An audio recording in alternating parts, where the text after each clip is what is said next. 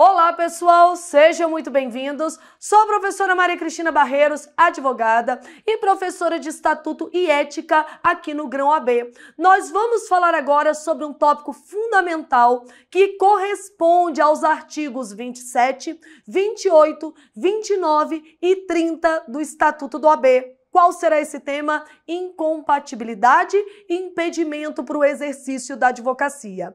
Incompatibilidade é uma proibição total total para o exercício da advocacia. Se você for incompatível, você não pode advogar em hipótese nenhuma, mas eu queria tanto, mas você não vai. Se você tem uma incompatibilidade, você tem uma proibição total, você não advoga nem para sua mãe, nem para o seu pai, nem para o amigo, nem para o inimigo, nem para o vizinho fofoqueiro e nem em causa própria, porque você possui uma proibição total.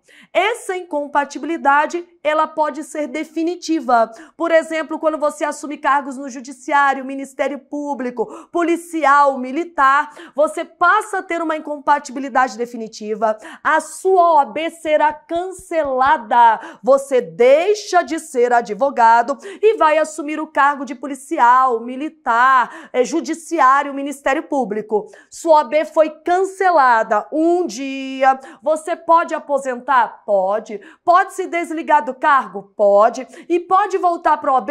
Pode. Se voltar, vai voltar com um novo número de OAB.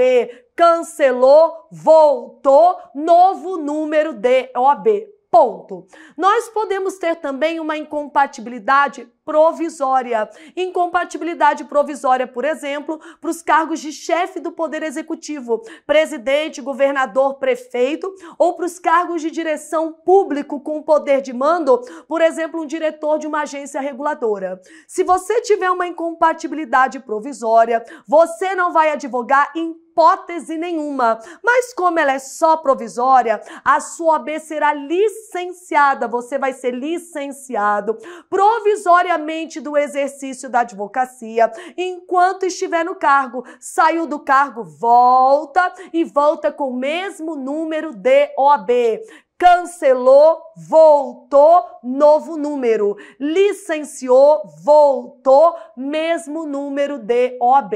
E o impedimento, ele é uma proibição parcial para o exercício da advocacia. Nos casos do membro, dos membros do Poder Legislativo, deputado, senador e vereador, que vão estar impedidos de advogar contra ou a favor da administração pública, concessão, permissão e entidade para estatal e todos os demais servidores que estarão impedidos de advogar contra o ente que lhe remunera. E aqui nós também temos uma paródia para você nunca mais trocar as expressões técnicas em prova. Pipoca na panela, começa a arrebentar, pipoca com sal, que sede que dá, nunca mais. Você vai escutar pipoca e guaraná, que programa legal, com os mesmos ouvidos. Agora será advogado impedido, proibição parcial advogado incompatível, proibição total. Se for definitiva, cancelada será. E se retornar, novo número terá. Eu quero, eu quero, eu quero advogar, mas não, não poderá. Eu quero, eu quero advogar, mas não, não poderá. Se for provisório, licenciado será. Com o mesmo número, voltar e advogar. Vamos se ligar. Compartilhe essa dica com aquele seu colega que também será aprovado no exame de ordem. Se inscreve no nosso canal, ativa o sino e venha fazer parte do time que mais aprova no exame de ordem.